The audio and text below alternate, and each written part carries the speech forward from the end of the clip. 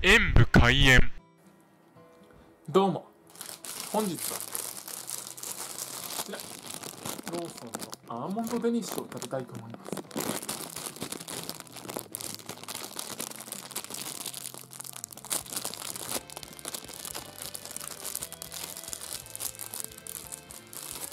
甘い香りが漂ってきますではいただきます。いやどうってそのまま食べますけどサクサクで美味しいです。の上アーモンドの中にほんのりと甘いザラメが入っていてその甘さがアーモンドの食感とよく合っていてとっても美味しかったです。